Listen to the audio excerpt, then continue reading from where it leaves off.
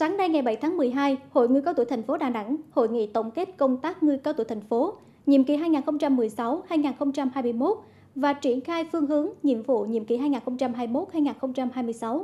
Dự hội nghị về phía Trung ương có Phó Chủ tịch Trung ương Hội người cao tuổi Việt Nam Nguyễn Hòa Bình, về phía thành phố Đà Nẵng có Ủy viên dự quyết Ban chấp hành Trung ương Đảng, Phó Bí thư Thường trực Thành ủy, Chủ tịch Hội đồng nhân dân thành phố Lương Nguyễn Minh Triết, Chủ tịch Ủy ban Mặt trận Tổ quốc Việt Nam thành phố Ngô Xuân Thắng và Phó Chủ tịch Ủy ban nhân dân thành phố Ngô Thị Kim Yến.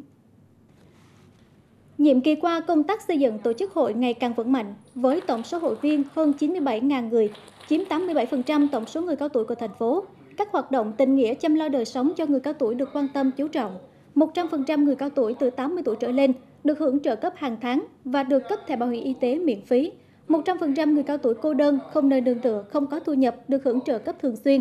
Các phong trào cuộc vận động tiêu biểu như ông bà mẫu mực, con cháu hiếu thảo, tuổi cao gương sáng được nhân rộng và lan tỏa.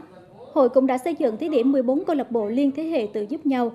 tham gia giám sát việc thực hiện các chính sách an sinh xã hội và đặc biệt chung tay góp sức cùng thành phố tuyên truyền phòng chống đại dịch Covid-19, ủng hộ lực lượng tuyến đầu.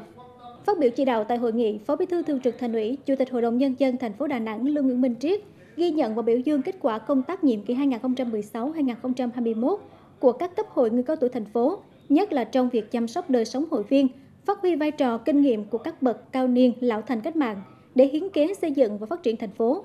Đề nghị hội tiếp tục bám sát nghị quyết của Đảng, quan điểm định hướng phát triển của thành phố để cụ thể hóa các nội dung trong nhiệm kỳ tới, đẩy mạnh phong trào thi đua tuổi cao gương sáng gắn liền với phong trào thi đua yêu nước của địa phương, tiếp tục đổi mới phương thức hoạt động, tập trung chăm lo các đối tượng yếu thế, góp phần vào công tác an sinh xã hội của thành phố.